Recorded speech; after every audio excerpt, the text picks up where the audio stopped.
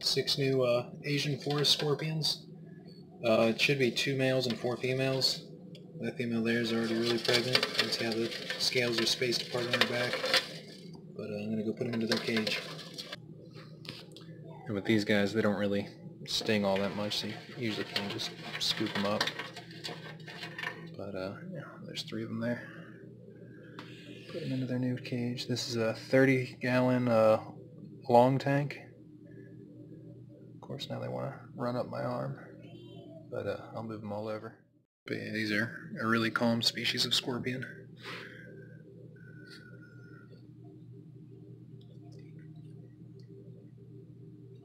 There goes.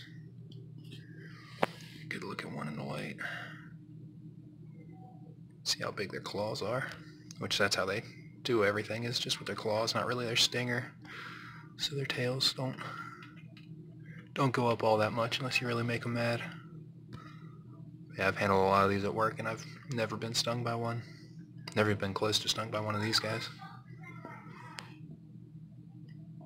Yeah, I got six of them and then I'm going to separate the pregnant female out. Put her in her own cage until she gives birth. So this is not even 30 seconds later. The, that is a male and uh, I assume a female that is trying to breed. The male's trying to breed. So what should happen is the male is going to pull her over to this flat rock and then they'll dance around and that's how they breed. But uh, it seems to be going pretty well.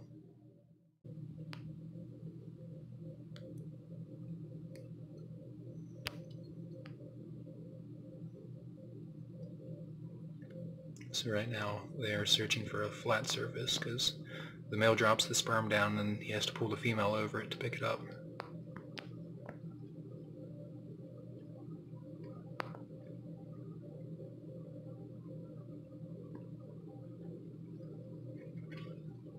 Oh, that doesn't look good. Oh.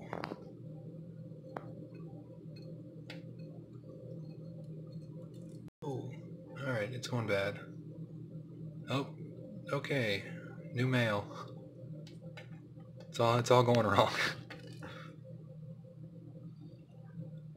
so that new male was trying to grab a hold of the female too and breed with her. Uh, I think I only got two males. And now the males are fighting over the female. Or fighting the female, one or the other.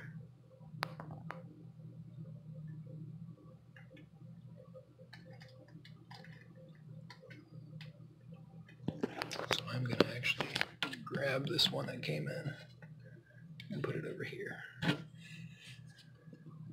there is still one right behind the female.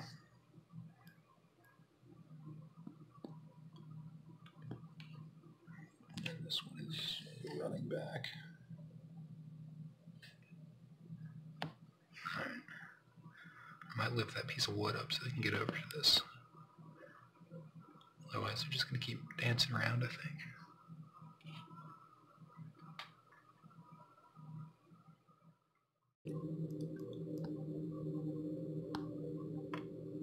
Been maybe five minutes. They're still dancing around.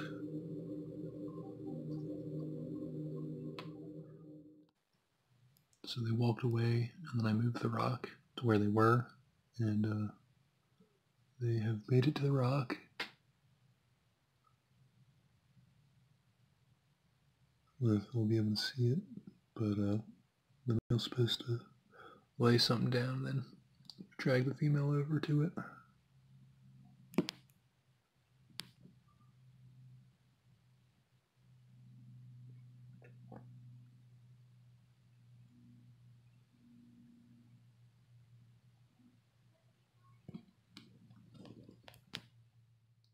Filming this on my phone, but uh, the female is right above.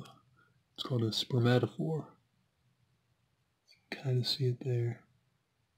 That uh, branch that's coming up, yeah, there. That's what the male is pulling her over to. So it looks like a successful breeding then. Did not film it. Um, the male pulled her up above it and then she slid back onto it and uh, they immediately broke apart. And uh, it did go in her, so looks like they are fighting now.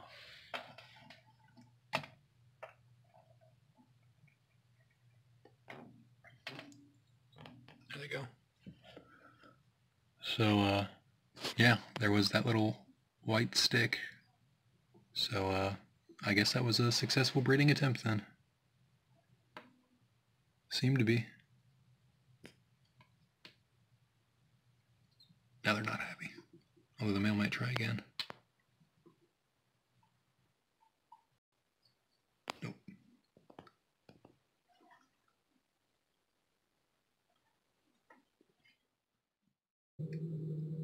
This here is the pregnant female. You can see how stretched out her belly is, where the scales on her back are coming apart. So she is probably full of babies. And in another few weeks, she'll uh, give birth to them all alive, and then she'll raise them up